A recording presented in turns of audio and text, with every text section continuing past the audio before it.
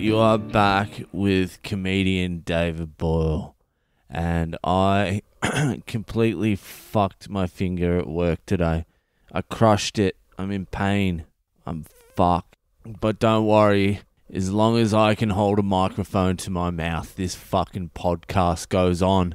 It's gonna take more than a little bit of fucking crushed index finger to stop me from telling you what's what. Yeah, so I fucking crushed my fucking index finger at work today.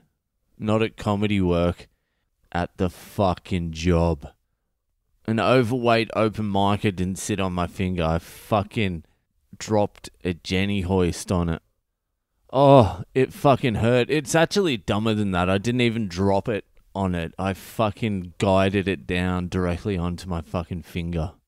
Every single step of the way, I knew it was going to happen. If you don't know what a genie hoist is, it fucking doesn't really matter. It's a hoist and it lifts shit. That's all you need to know. And they're fucking heavy and they're awkward and they're dangerous. And I was rolling it to the other side of the fucking job site. I thought, fuck it, I'll just tip it over and put it on its wheels and it'll be easier to get it across the fucking site. You know, when you can see exactly what's going to happen from the moment you start doing it and you just don't stop yourself? I started tipping it. I'm like, oh, my hand's in the wrong position here. This is an awkward position to be holding it. I should stop and get it in a good position. But I just continued. I'm like, oh, once I go over the halfway point, this is going to be very fucking heavy. And I just continued. And then I was like, oh, shit. It's got to sit on those front wheels, and those front wheels aren't pinned. They're just going to suck back in, and the whole thing's going to fall. And I'm like, oh, those wheels are going to fall, and my fingers are underneath it, so they're going to crush my fingers. And for some reason, I still just let it drop. I just let it drop on my fucking finger, and it just crushed it. I don't think the bone in it's broken, but it's fucked. The nail from the cuticle is just fucking black. The nail sort of slid down a little bit and fucking went into itself. The whole thing's hard, like firm hard. Like my fingers as hard as a fucking apple. And I've been in pain for nine fucking hours because fucking painkillers don't really work in the tips of your fingers. There's not enough blood circulation that goes there in the first place.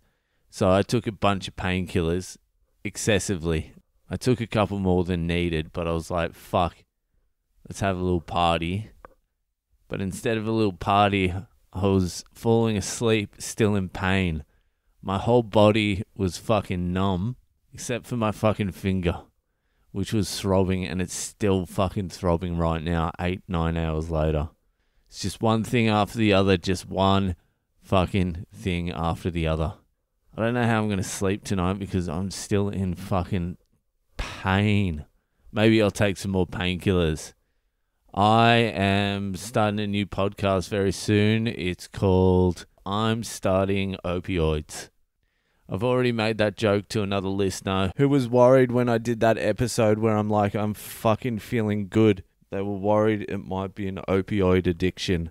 Like it was impossible to have one good day out of 168 days or however many it was. No, that can't be right. He's addicted to fucking opioids. It's not even possible to have a naturally good day. Yeah, well, there hasn't been a lot since, so don't worry about that. And opioids and heroin and shit aren't my gig. Although I will take a few more painkillers before I go to sleep. I got told it's going to take a few months for this to even fucking heal. So I guess the biggest tragedy of the whole thing is I'm going to have to put my piano career on the back burner for a few months. I'll put a photo of my fucking finger up on Instagram at some point. I'm going to say I'll, I'll put it up tomorrow, but it could be any time in the next three years. If you don't want to miss out, add me on social media. I am at Boyle Comedy on Facebook, Instagram, and Twitter. And thanks to everyone who's been sending me messages. I fucking appreciate it. It's real nice to hear from you. Some of you are quitting drinking yourselves, And I applaud you because some of you sound like some messed up fucking units and you need to fucking quit. Get control of your fucking lives, you maniacs. Actually, I might even throw a party for my one year. A sober party. Just everyone's going to be sober. No booze allowed. We all have to stand around awkwardly staring at each other. Just a bunch of sober, reformed maniacs just staring at each other, going, What happened? That would be funny. That would be a good party, though. Anyway, that's fucking me done. I'm in fucking serious pain. I know it's hard to tell because I'm a stoic, old school tough guy, but yeah, I'm in fucking pain. Alright, I'll speak to you later.